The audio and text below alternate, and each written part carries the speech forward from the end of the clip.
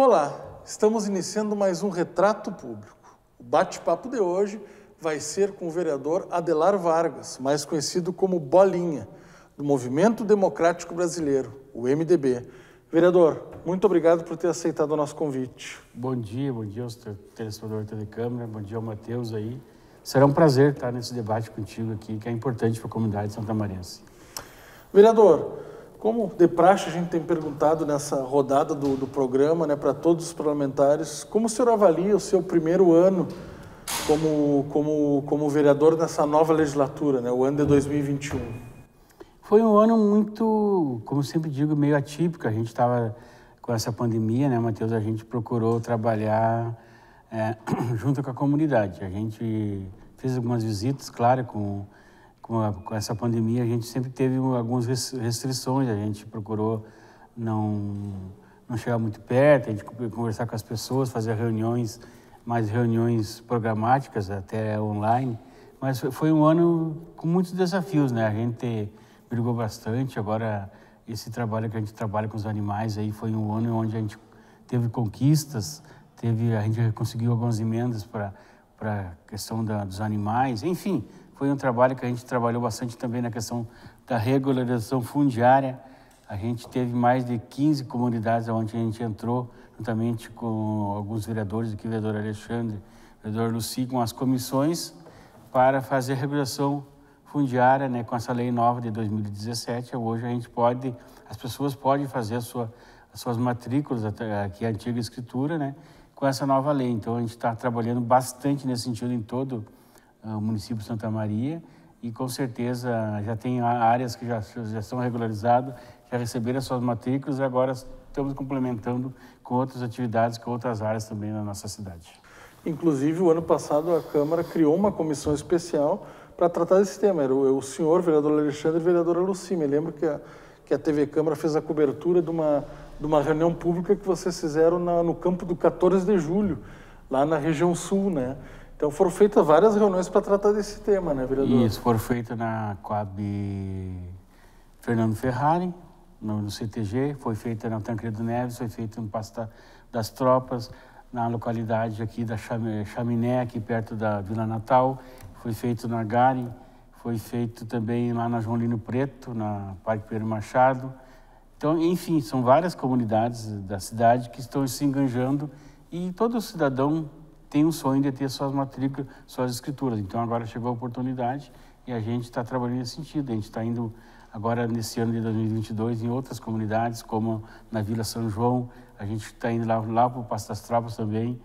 Enfim, vários locais que as pessoas nos procuram e a Secretaria de Habitação nos aciona e a gente está porque a gente já conhece um pouco as comunidades de Santa Maria, tem tive essa oportunidade de trabalhar como secretário de Ação Comunitária e agora a gente trabalhando nesse sentido para que as famílias então recebam suas matrículas, né?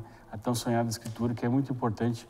Muitas pessoas hoje elas querem fazer um, um, um pedido de, de, da Caixa Econômica Federal, assim, um empréstimo, e não tinha condições porque não tinha matrícula. Agora um financiamento, estão... uma reforma, tudo isso, se impede, né? Isso agora, então as pessoas podem pode fazer financiamento, reformas, porque tem a matrícula, né, que é um sonho de todas as pessoas que, que, que gostam de ter seus terrenos ali nesse sentido. Então, ficou muito importante para, para as pessoas da nossa cidade ganhar as matrículas.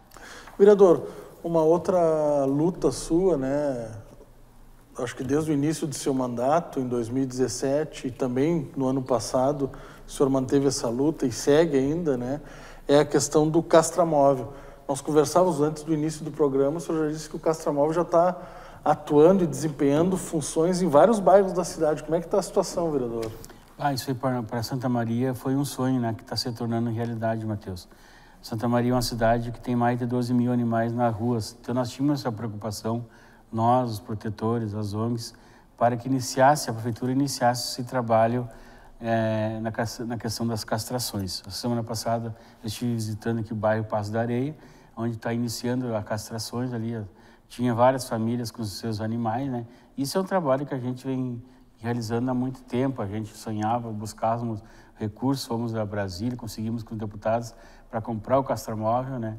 E, e eu, como parlamentar, todo parlamentar tem as emendas impositivas, e eu coloquei duas emendas, uma de 98 e outra de 96. Deu 184 mil reais para as castrações. Então, com esse recurso, mais o recurso do governo do estado, mais recursos da prefeitura, deu 300 e poucos mil reais. Então, a gente conseguiu já, nesse primeiro momento, fazer 1.036 castrações, que vai iniciar. Então, está iniciando esse trabalho e depois a gente vai fazer novas licitações, né, Matheus? Porque, como Santa Maria é uma cidade que tem muitos animais, essas mil e poucas castrações vai ser pouco. Não tem como, nós temos que iniciar esse trabalho e não parar mais. Então, o castramóvel veio para ficar.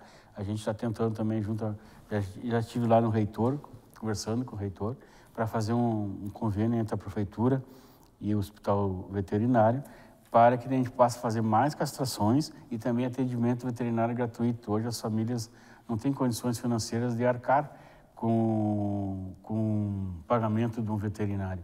É, além de ser caro, as pessoas hoje não conseguem nem se alimentar, às vezes não estão desempregados. Os animais que quando vão, quando a gente, as ONGs é, pegam, a gente tem que arcar com, a, com, as despesas, ou fazer um PIX, ou fazer risoto, que nós estamos fazendo.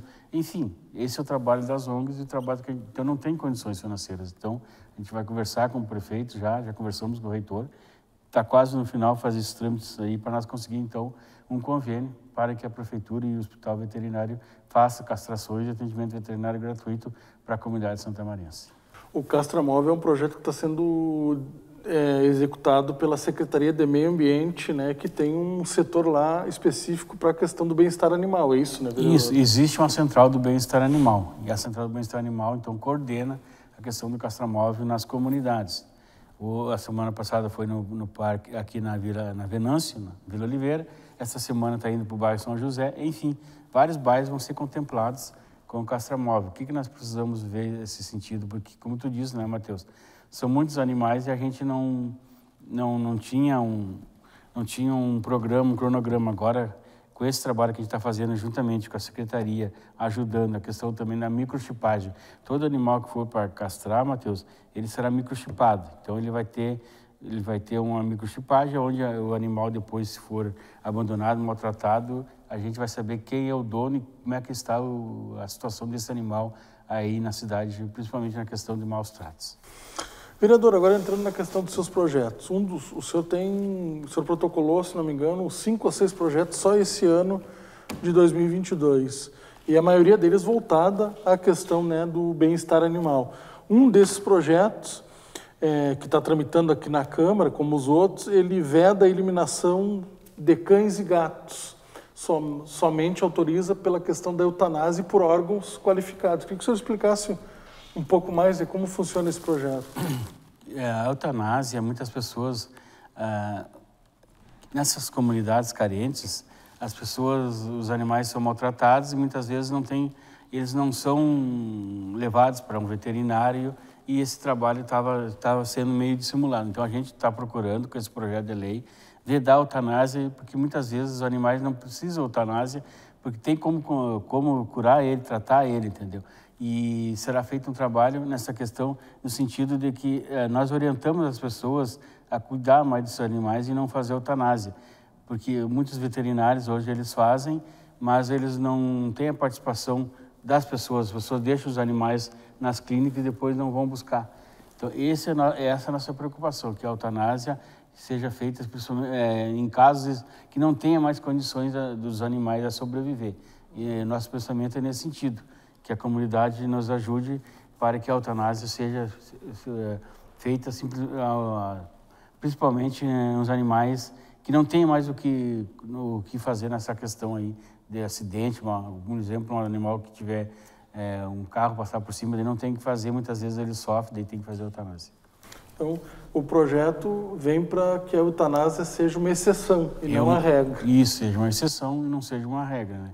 Que a nossa principal preocupação é nesse sentido, que a comunidade nos ajude e que os animais, que mais principal é que nós queremos que os animais sejam, é, não sejam, como se diz assim, eles não sejam a principal questão da de, de, de, de eutanasiar, seja uma questão principal de vida para os animais ter a oportunidade de sobreviver nessa questão. Aí.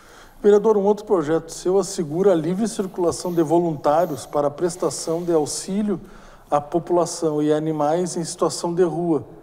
Né? Queria que também o senhor falasse um pouco mais desse projeto, por que, que essa livre circulação é importante nesse, nessa situação. Matheus, o que, que acontece em Santa Maria? Nós estamos uh, com, nós temos muitos protetores e muitas ONGs, mas não é o suficiente, Matheus, para a questão trabalhar na questão de voluntários.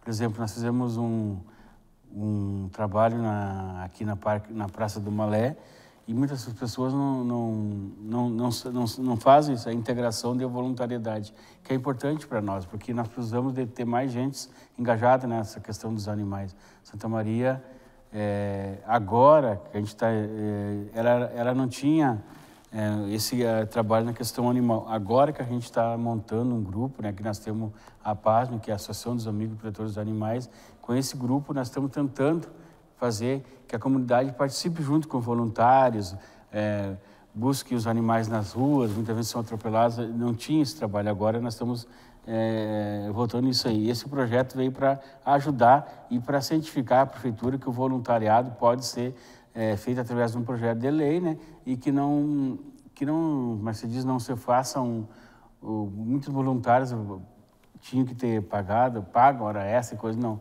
A voluntária é para trabalhar na questão de voluntariedade, ajudar os animais que hoje sofrem na nossa cidade e muitas vezes nós não tinha, nós não temos, uh, exemplo, uma casinha, fazer uma casinha, não tinha voluntário, agora o pessoal está ajudando a fazer casinha, fazer eventos, isso é o trabalho do voluntariado.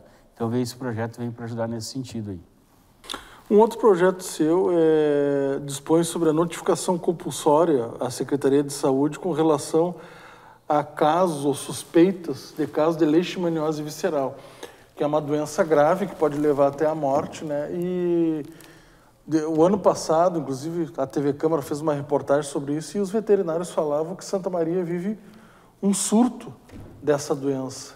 Queria que o senhor falasse um pouco mais desse projeto e como é que está esse surto hoje no município. Hoje esse projeto veio para o que que acontece? Muito, é, Santa Maria é uma cidade, como sempre digo, que a causa animal está mudando. E o que, que acontece? Muitas vezes os animais é, pegam essa doença leishmaniose e, não, e aí ela não tem cura, né, Matheus? Então a gente está tá, é, vendo essa situação porque, por exemplo, aqui na Vila Oliveira tem um surto de leishmaniose. Eu, é, em outros locais tem um surto de leishmaniose. E nós estamos procurando é, ver essa situação porque eu, essa a leishmaniose muitas vezes ela é ela é o mosquito palha pica o animal, né? E o animal pode, uh, o mosquito pode picar a pessoa e a pessoa pode vir a óbito, né? Então esse, essa é a nossa preocupação, que a leishmaniose é uma doença, como tu diz, visceral e ela é preocupante, é uma doença que que até a gente agora está fazendo um projeto de lei, que, como tu disse, nós estamos fazendo essa comissão especial para fazer uma audiência pública, para conversar com a comunidade sobre a leishmaniose, o que nós podemos fazer para melhorar. Vamos convocar os veterinários, enfim, toda a, na cidade, todas as pessoas que querem trabalhar nesse sentido, para que nós possamos tirar um denominador comum né, e ver o que nós podemos fazer para ajudar na questão da leishmaniose na cidade. É, a, a, a leishmaniose, só explicando para o telespectador que nos acompanha, né, ela não é transmitida do animal para o ser humano. Né? O animal é um vetor, o animal é o, digamos assim, o, o quem transmite é o mosquito palha, palha. e pica o animal e, e, pica a pessoa. Né? Então é importante a população saber disso. É, né? essa é a nossa preocupação, né? porque já teve um óbito, então a gente se preocupa com a população santamariense nesse sentido.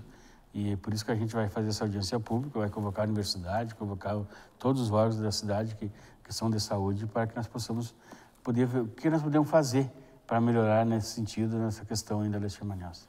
E existem coleiras, né, vereador? Existem. Coleiras que protegem, né? não deixam o mosquito chegar no, no cachorro. Só que muitas pessoas, também entra na questão financeira, Muitas pessoas, de repente, muitas vezes não estão tendo nessa situação atual de, de dinheiro para alimentação. Como é que vão ter dinheiro para comprar coleira que custa e, em torno de 80 reais? Né? É, e é um tratamento muito caro, né? E tem vários animais que são pessoas pobres, muitas pessoas, então as ONGs ah, abrigam esses animais, esses animais né? e ajudam. Por exemplo, nós fizemos risoto, que hoje é para fazer um tratamento para tratar um animal de leishmaniose é 4, 5 mil, Matheus. Então, muitas pessoas não têm condições financeiras. Então, nós se abraçamos juntos e tentamos ajudar. Tem vários animais com leishmaniose que os protetores hoje estão com eles nas suas casas. Então, a gente tenta fazer o melhor possível. Então, é, esse, esse projeto veio para tentar minimizar um pouco a situação.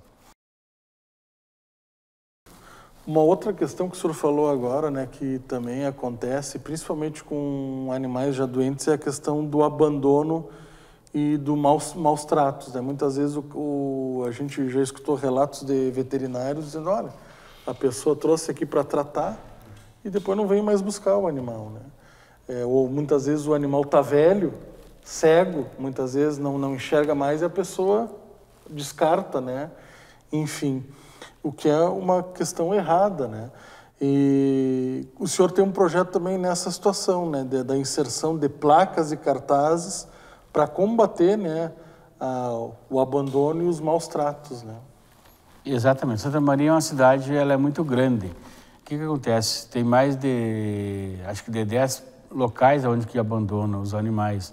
Aqui na faixa de São Pedro, faixa de Rosário, ali no Peral, Boca do Monte, enfim, vários locais da cidade que, que abandonam esses animais. Mateus já mandei fazer placas agora para é, proibir o abandono. A gente vai em todos esses locais a gente vai colocar as placas e mostrar para a população, né, que o abandono de animais é crime. Antigamente né, tu abandonava ou não dava nada. Hoje dá de um ano a cinco, se tu for comprovado que tu maltratou o animal, abandonou o animal, vai dar de um ano a cinco anos de de prisão, entendeu? Então, hoje não tem fiança essa questão do abandono dos animais, né? Que é um trabalho que a gente fez bastante nessa questão, né? Juntamente agora com a delegacia especializada amiga dos animais que veio, foi um, tra um, trabalho que a gente passou quatro anos brigando, já está na cidade, está atuando, mas é muita demanda, Matheus. A, a Polícia Civil faz o seu trabalho juntamente com, com, com os protetores, com, com as ONGs, mas não está dando, como é você diz, surgindo efeito. Então, nós temos que conscientizar as pessoas a não abandonar os animais. Nós temos um projeto aí que a gente faz nas escolas, que é juntamente com o projeto Tampas e Patas, que é a conscientização das crianças. Nós temos que iniciar pelas crianças, Matheus.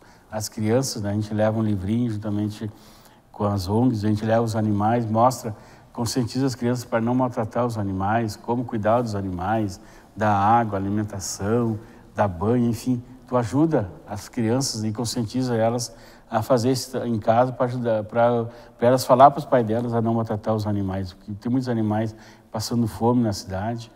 É, tu vai para essas comunidades aí, como tu diz, é maus tratos, é animais atropelados, é animais que não que estão na rua porque não muitas vezes as pessoas não têm condições financeiras de, de, de se alimentar, estão largando os animais na rua porque a ração hoje é não está barata e as, os animais não têm ração, vão para a rua, né, tentar derrubar lixo, enfim, esses animais são atropelados. E nossa cidade tem mais de 12 mil animais, então essa é a nossa preocupação. Entre gatos e cachorros. Só cachorros. Só cachorro. Isso. Então é um, e na verdade são 66 mil animais, mas 12 mil estão na, estão na rua aí. Essa é a nossa preocupação. O resto estão com as pessoas, mas 12 mil estão sofrendo na rua. E é uma cidade com 300 mil habitantes. A gente tenta fazer o que pode.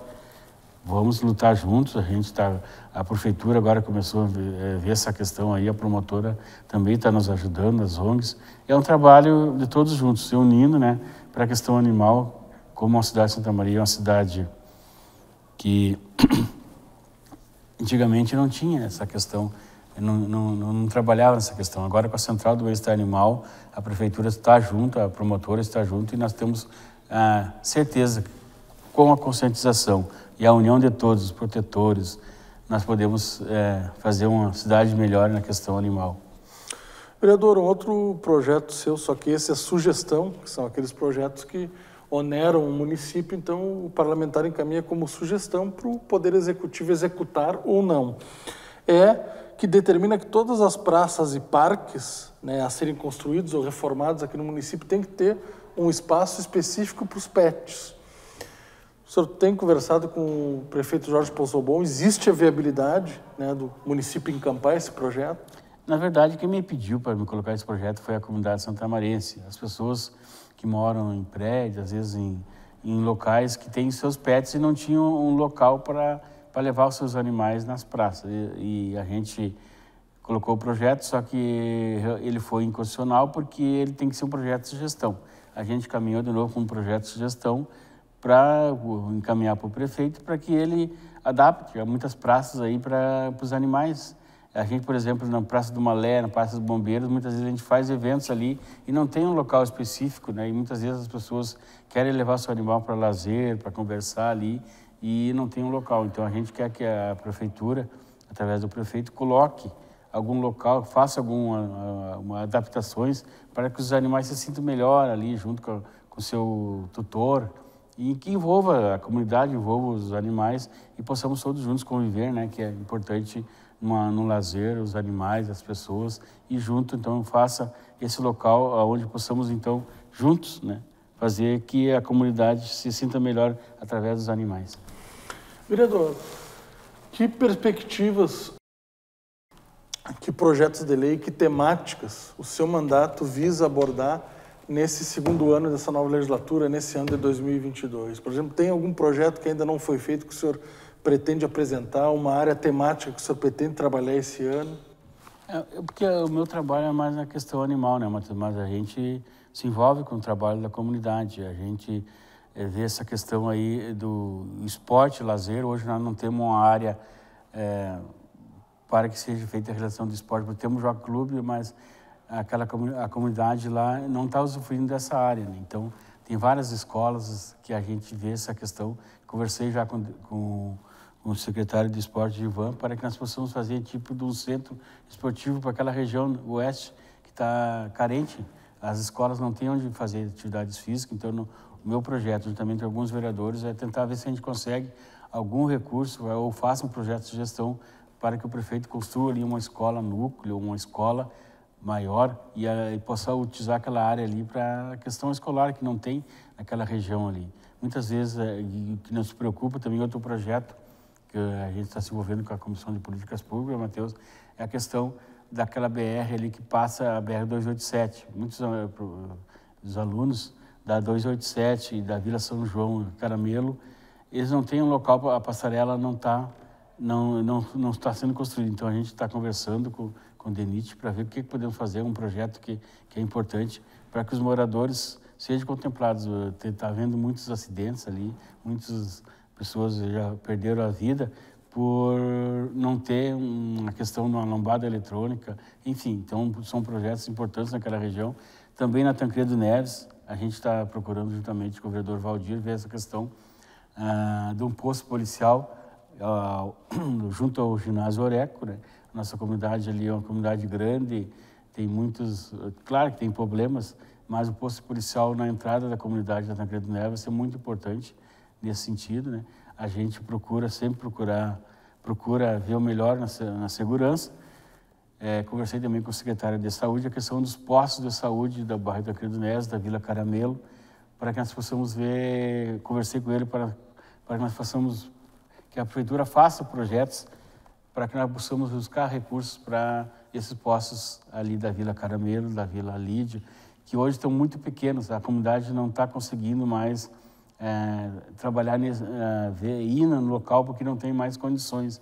E, então a gente procura, eu conversei com o secretário Guilherme, para que nós possamos, juntamente com, com mais alguns vereadores, vamos conversar, para que nós possamos buscar recursos através das emendas impositivas para tentar construir mais um, uns postos de saúde ou reformar os postos de saúde ah, para aquela região de, da região oeste, que é uma região muito carente nessa questão da saúde. Tá certo, vereador. Vereador, chegamos ao final do nosso programa. Gostaríamos mais uma vez de agradecer ao senhor pela disponibilidade de participar e vir falar um pouco mais, abrir um pouco mais sobre o seu mandato para a população de Santa Maria. Eu que agradeço, Matheus. Eu desejo a todos aí um bom 2022, que possamos construir junto em uma Santa Maria melhor para todos.